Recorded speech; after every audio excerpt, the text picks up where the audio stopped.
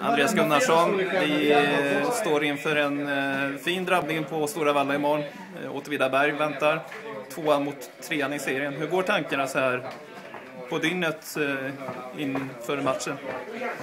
Jo, ja.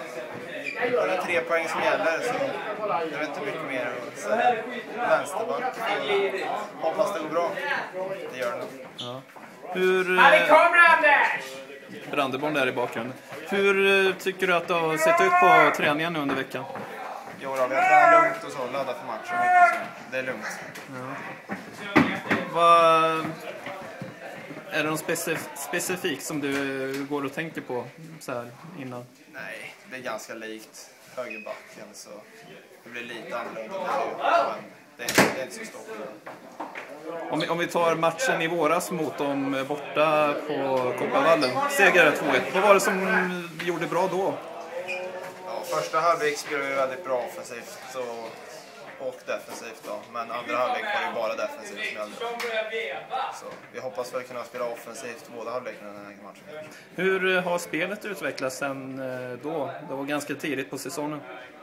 Ja, jag vet inte riktigt. Vi spelade ganska samma, tycker jag.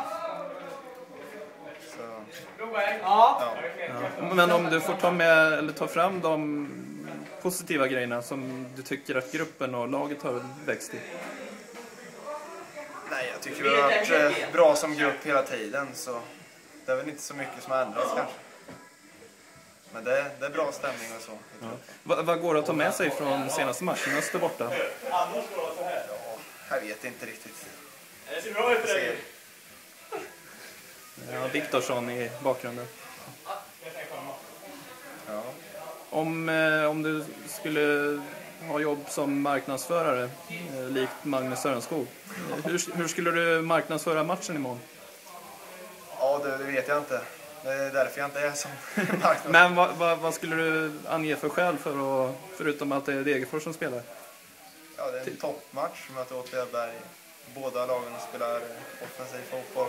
Så det blir en bra match. Hur går det då? Hur slutar det? Vi tar seger med 1-0. Låter bra det. Bra. Tusen tack.